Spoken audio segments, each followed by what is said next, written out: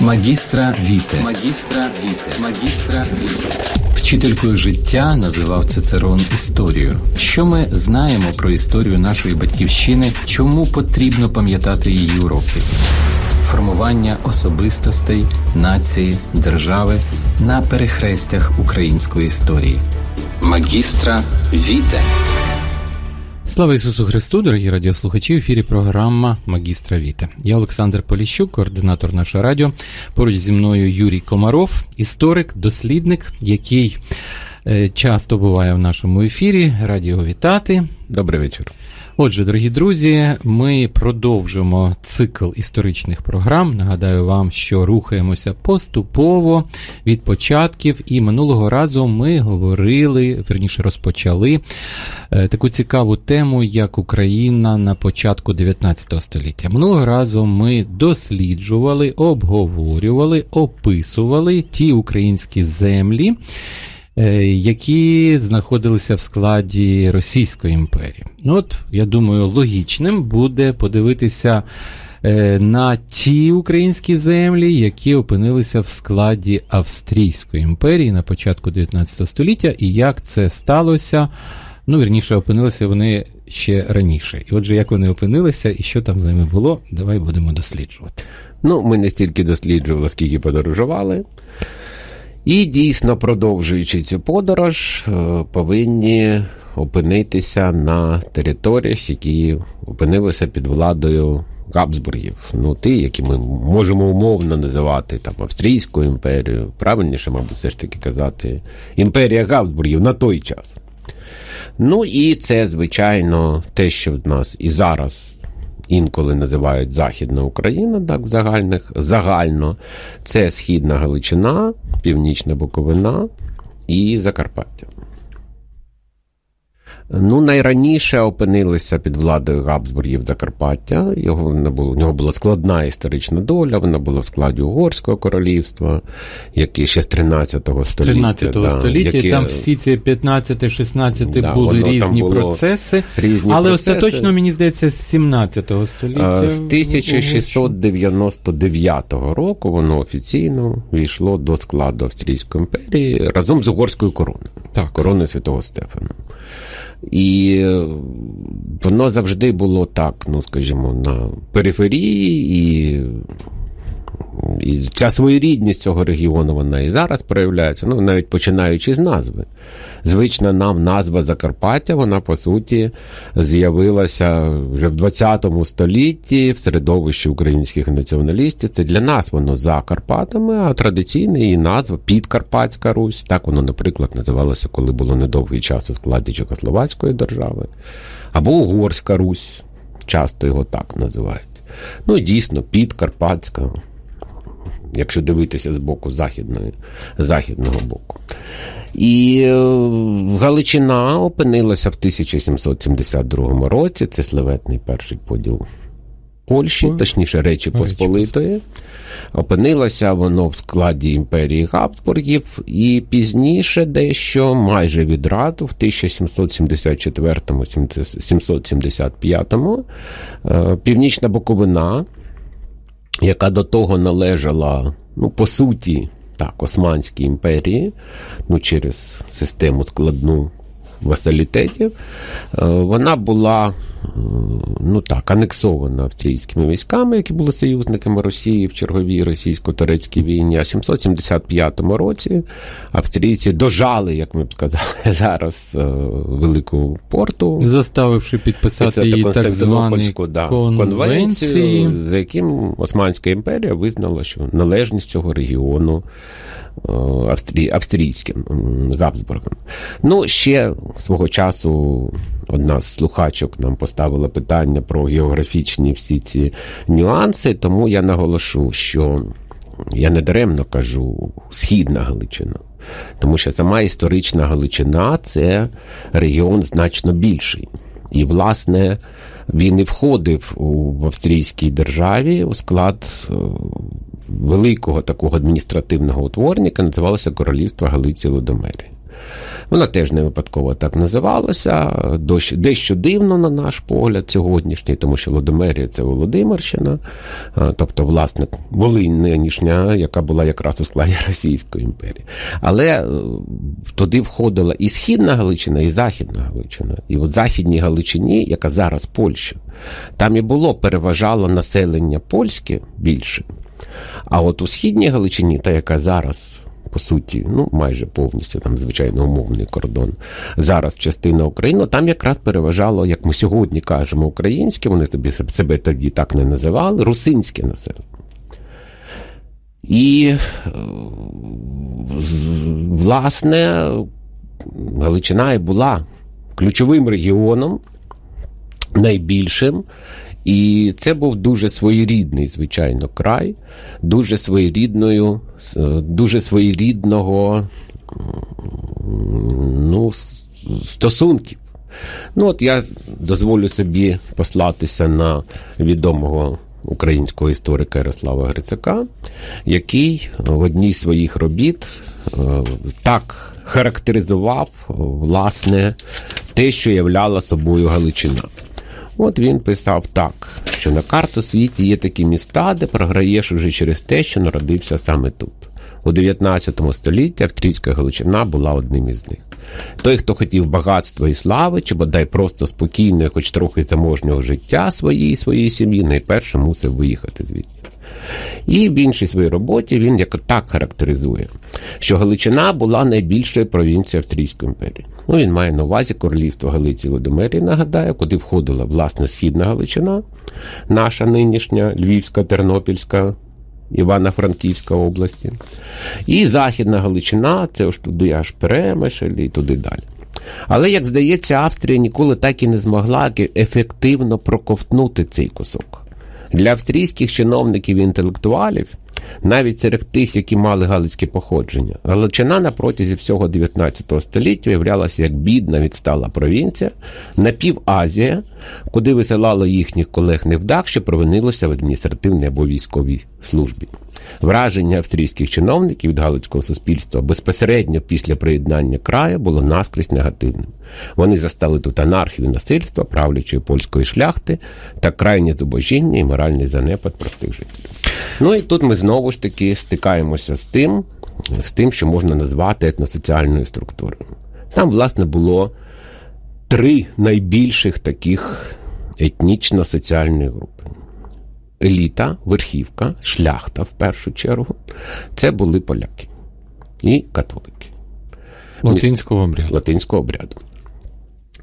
Ну, а основна маса населення, тих, які ми сьогодні умовно, ну не умовно називаємо українцями, хоча, повторюю себе, вони собі так ще не називали. Називали вони себе русини, рутени, руські, по-різному.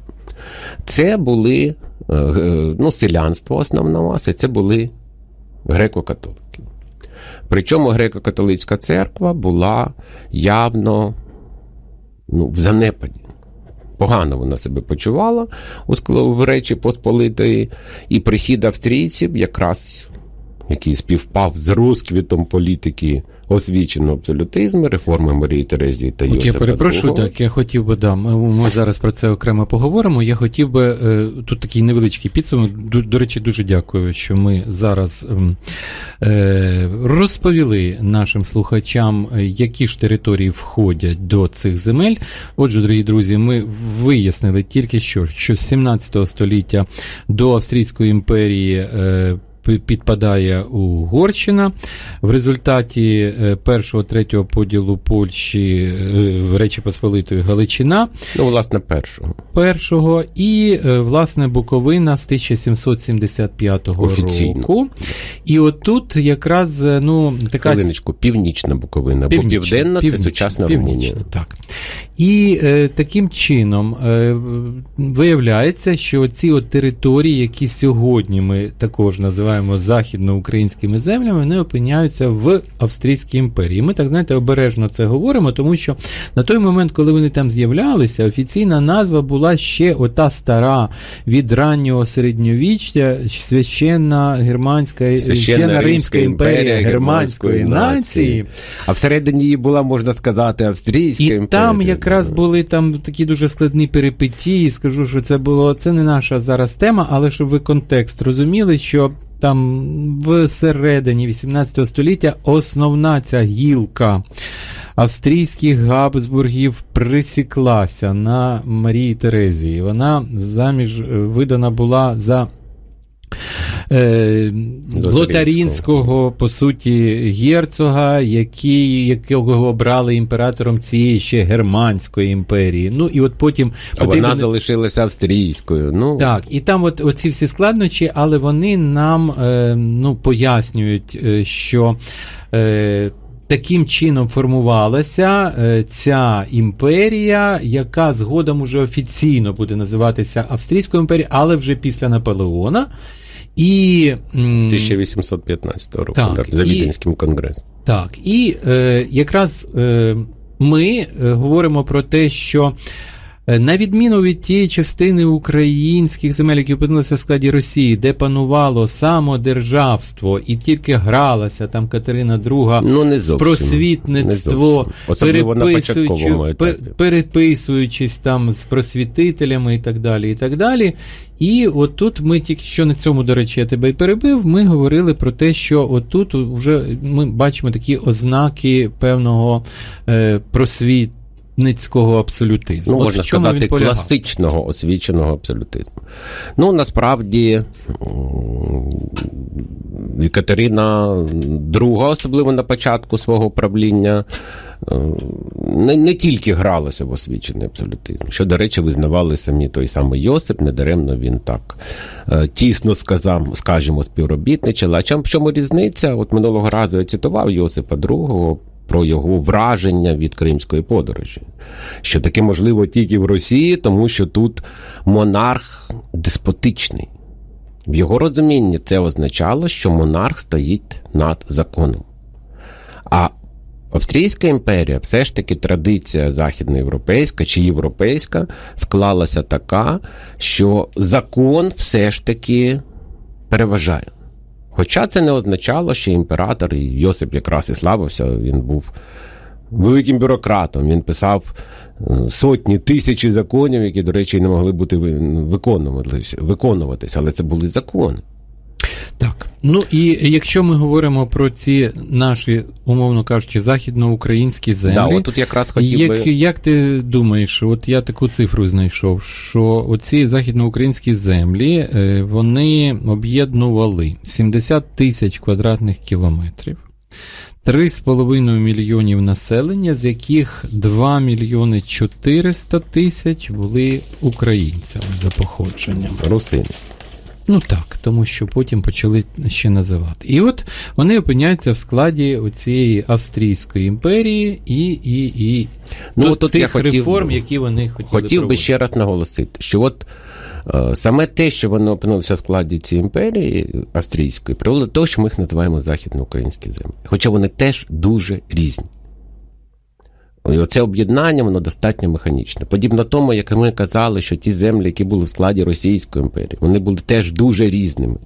І тоді ніхто уявити не міг, що вони якусь єдність собою являють. Це для нас сьогодні звично. А там, відповідно, в кожній свої проблеми. От Галичина, це поляки. Ну, от я зішлюся на того самого е, Грицака з цифрами.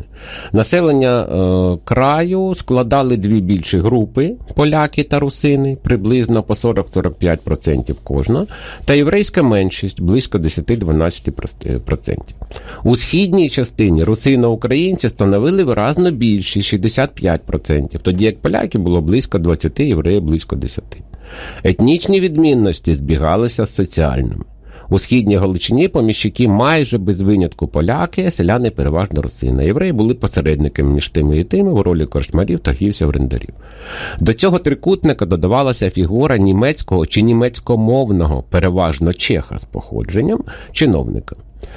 Е, варто згадати також розкидані по всій Галичині поселення німецьких колоністів. Ну а чому чехи? Тому що вони були слав'яни, вони легко знаходили спільну мову. І, і тому, тоді... що в контексті ми повинні пам'ятати, що Австрійська імперія потім да, її все частіше будуть називати клаптиковою, клаптиковою монархією, монархію, яка складалася дійсно з різних різних різних клаптиків землі і народів. І от якраз Галичина в цьому плані, ось поляки, поміщики, русини, селяни. І греко-католики, тому поляки зневажливо казали, що це народ е, хлопів і попів, тобто бачили лише ось селян і греко-католицьких священників, які ну, в сільських приходах дуже мало відрізнялися на той час від власне своїх парафіян. Добре, чуть докладніше трошечки про це поговоримо після так. короткої хвильки. Магістра Віте. Магістра Віте. Магістра Віте. Магістра Віте.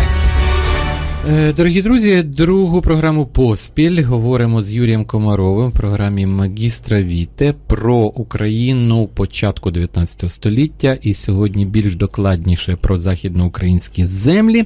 Ви можете телефонувати, якщо у вас є запитання щодо теми цієї програми. Е, будемо вдячні вам. Нагадаю, що телефони незмінні. Прямий ефір, наш два київських телефони 044 577 56 45, 044 577 56 46, 098 650 18 60, 093 272 07 45. Отже, розібралися ми з тими землями, які входять до складу Я все ж таки ще два, два слова скажу про Буковину і Закарпаття. Так, В Закарпатті ситуація була якраз теж дуже схожа, тільки замість поляків там були угорці. Еліта, верхівка, поміщики угорці, селяни, українці, плюс русини, плюс єврейське населення. Ну, плюс різні інші меншини. Ну і те ж саме в Буковині, тільки там поміщики були румуни, а селяни були русини. От тільки в Буковині е, своєрідні ситуація була в тому, що там і там, що і поміщики еліта, тобто тодішнє дворянство, і селяни вони належали до однієї православної церкви. А от е, в Закарпатті і в Галичині якраз вони і конфесійно були різними. Ну і звідси всі ті конфлікти. Звідси, це, ну, Пам'ятаєш, скажімо, це під... спливало, е, Пам'ятаєш, минулого разу ми говорили про, е, коли говорили про цю російську частину України, і ми говорили, як відбувалося Е, ну, закріпачення, як в кабалу попадали селяни, і дуже часто і власне українська шляхта була тільки за це. І ці процеси наростали.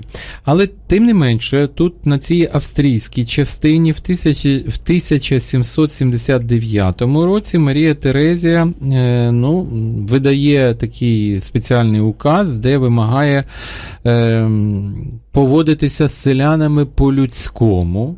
Це не означало там відміну да, цієї залежності, е, але е, означало, о, о, означало е, особистої залежності відміни. Отут якраз Тобто, треба спадщина да. зберігалася, і ти от про це розкажи. Да, отут треба це те, що ми називаємо в історії, називаються традиційні реформи Марії Терезії і Йосипа II. Дійсно, це були реформи, класичні реформи освіченого абсолютизму, які стосувалися і соціального становища, і становища церкви, і освіти, і всього. Інша справа, наскільки вони реально впроваджувалися. Але дійсно було цілим рядом законів селяни звільнені від особистої залежності від поміщиків. І тому той десь в якійсь літературі я зустрів таку, е, ну, скоріше. Примітку, що до середини 19 століття майже не залишилося села, яке не судилося зі своїми е, ну, дідичами, як то їх називали, тобто пана. Але панщина обов'язково залишилася. Так. Тобто селяни вони не були особисто залежними, але да. повинні були виконувати повинності за користування землею, яка залишалася землею поміщення. І власне цей е, ну таку настанову Марії Терезії підтвердив потім Йосиф II в 1782 році. Так би мовити, ще раз скасовується ця особиста залежність селян, але там навіть е, прописувалося, скільки днів повинно бути да, панщини відбувалася панщина трьома трьома днями, але на практиці це не не виконувалося, тим більше, що після смерті його, ну ще за життя його, по суті, змусили відмовитися від цього, а після його смерті це просто забули. Але разом з тим було дійсно укази, які, по суті, забороняли тілесні покарання щодо селян, ну такі особливі, скажімо. І е, вводили їх до загального, ну, юридично, юридично зрівнювали. Тобто вони могли і брати шлюб, і виступати свідками, і набувати власність. Е, ну, Ну, власне, це громадянські резю... права резюча картина да. з Росією, тому що в цей же ж період, умовно кажучи, процес Салтичихи, який там один був. Ну, Салтичихою це окремо, але не будемо забувати знову ж таки ще раз, що.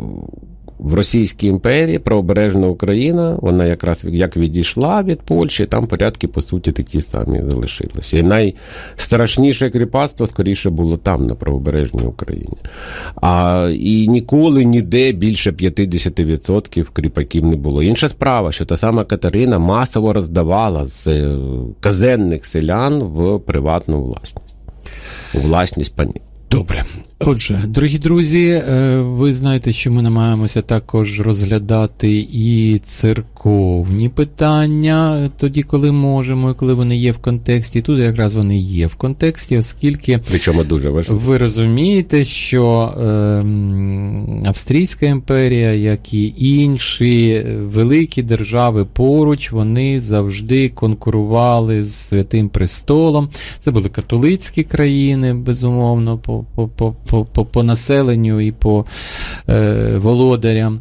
Е, Був навіть період, і це цей період, коли навіть були такі спеціальні доручення кардиналам при конклавах, які мали право вето на вибори е, майбутнього папи. Ну, все було.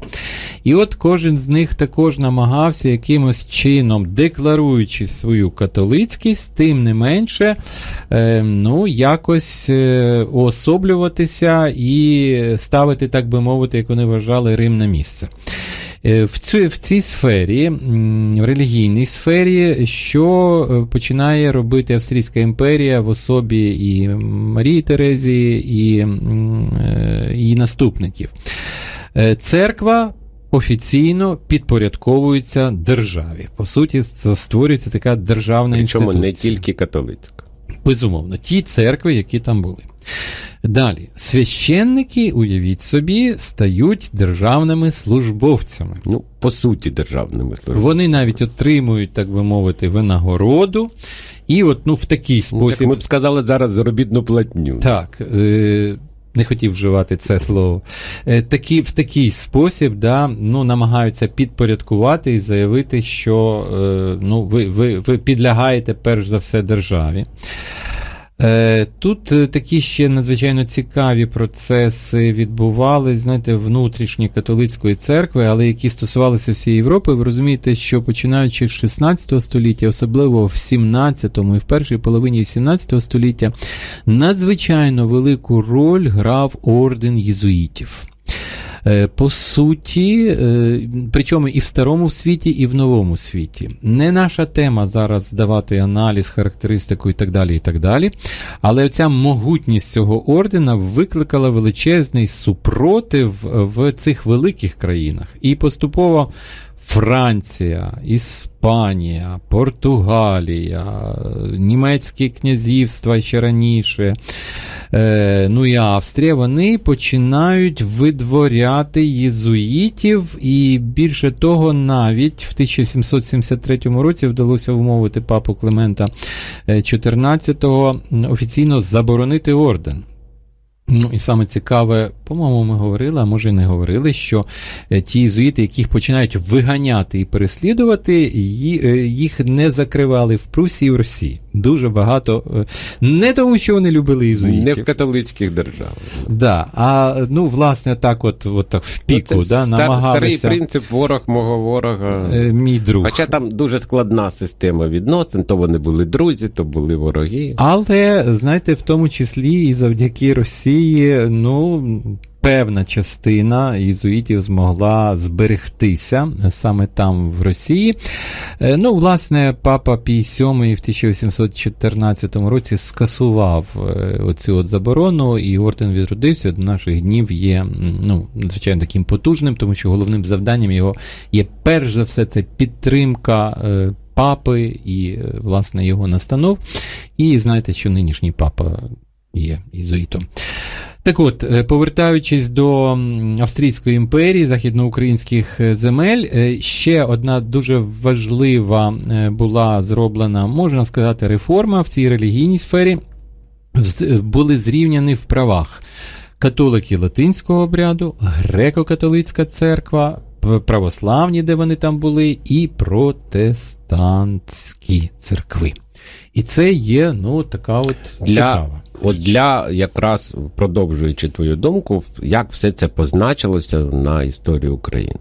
Ну, скажімо так, гоніння до єзуїтів означало ще й те, що в єзуїтів забирають ледь не головну їх відому річ освітню сферу.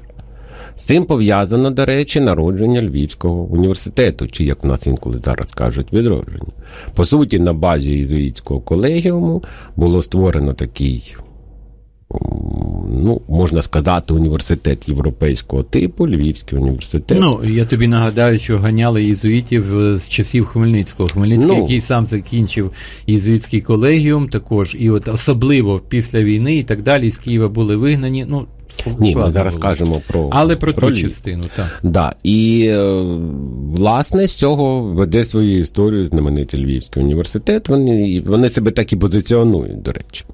Ну а е, в першу чергу це зрівняння в правах і перехід, по суті, в стан державних службовців для священників. Це можна сказати, врятувало, бо скоріше різко підняло статус і життя взагалі греко-католицьких священників, які дійсно збереглося багато Е, вражень подорожніх, там чиновників австрійських, що греко-католицькі священники в селах мало відрізнялися від своїх парафіян, від тих самих селян. Вони були бідні, вони ледь е, не, не мали можливості отримати освіту, ледь вміли читати. По суті, часто це була спадкова, батько вчив сина основам мусили так, самі мовити, заробляти да. на життя на життя і, так і орати і землю. Да. А от тепер вони раптом стали отримати державну платню, що різко піднімало їх над селянами основною масою. До того ж, ще й на перших, принаймні, порах е, австрійська держава.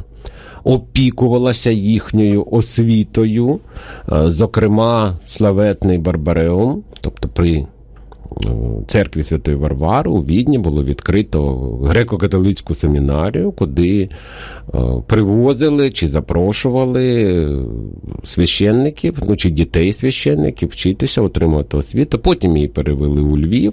Але це якраз стало базою того, що вся майбутня західноукраїнська галицька інтелігенція, вона майже винятково походженням, ну, перший її, так би мовити, призов, майже винятково це діти греко-католицьких священників. Ну і власне це була дуже вдала політика, тому що населення українське, яке належало до конфесії братів наших греко-католиків, воно ну з вдячністю приймало да, і по сьогодні таку це така певна ностальгія От ми сьогодні згадували з тобою, що десь там в Ужгороді перед е, греко-католицьким собором стоїть е, такий пам'ятник Марії Терезі, який поставлений коштом однієї місцевої родини. Е, приватний такий, скажімо, пам'ятник, там маленький скверик, такий дуже цікавий, між іншим. Ну і безумовно, це означало лояльність греко-католицьких священників, які, так би мовити, панували над умами і селянства. Це безумовно.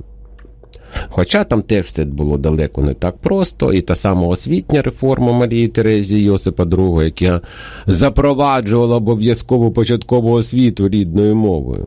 Але це той самий випадок, коли можна проголосити, а хто буде вчити, чому буде вчити, по чому буде вчити цього якраз не було. І Хоча греко-католицькі священники пробували, намагалися створити це. Зокрема, був в 816 році в Перемишлі створений такий гурток греко-католицьких священників просвітницький, який, власне, намагався створити якусь ну, освітню базу, тобто якісь підручники, якісь абетки і так далі. Але незважаючи на те, ось як це працює тоді, да, в 18 столітті, незважаючи на те, що це було офіційно запроваджено, в кінці 19 століття, тобто через 100 років, 85% населення Галичини були неписьменними. Ну так, у нас е, чотири хвилини залишається, е, тому я пропоную, що ми такі певні підсумки підбили, можливо, взагалі по темі Україна на початку 19 століття і особливо по цій частині західноукраїнських земель. Кажучи про підсумки, я казав вже минулого разу, багато разів казав і сьогодні, і скажу ще раз, що цей час перелам 18-19 століття він дійсно перелам. Власне, з цього починається те, що ми зараз називаємо Україною. Причому я зішлюся от мовою оригіналу, дуже цікавий, дуже цікава характеристика, яка дає Олексій Толочко, дуже відомий наш український історик. От він пише так. Пространство, которое, мова оригинала, это моя российская, сегодня называют Украиной, еще только предстояло вообразить из разнородных элементов казацкой Малороссии, запорожской и татарской Новороссии, тобто півдня, польских Волыни и Подолья, австрийской Галиции. На рубеже 18-19 веков мало кому пришло бы в голову, что все эти разнородные регионы имеют общую историю и заселены одним народом. Напротив, по все стороны культурных границ считают, що на этом пространстві произошли і продовжують происходить різні історії. Тобто те, що ми сьогодні називаємо Україною, тільки починає народжуватися, причому народжуватися в головах. Те, що ми сьогодні називаємо да. Україною. Отже, і таким чином, таким чином, що ми маємо на е, на, на, на е, цей початок 19 століття? Отже, Початок народжування частини, України дві і частини, дві частини. І дві частини. Одна ну, знаходиться... Ну, насправді їх більше, але от таких глобальних дві. Одна знаходиться в Російській імперії, інша знаходиться в Австрійській, Австрійській імперії. І потрібно було ціле 19 століття, і потім початок 20-го для того, щоби щоб Почала почалися визвольні українська, змагання. Українська нація, так будемо казати. Так, ну що ж, дорогі друзі, будемо продовжувати. Е, будемо продовжувати наступного разу наші розповіді про історію України в 19 столітті. Є е, ці події надзвичайно важливими і цікавими. Дякуємо вам. Залишайтесь надалі з Радіо Марія. Магістра Віте. Магістра Віте. Магістра Віте. Вчителькою життя називав Цицерон історію. Що ми знаємо про історію нашої батьківщини, чому потрібно пам'ятати її уроки? Формування особистостей, нації, держави на перехрестях української історії. Магістра Віте.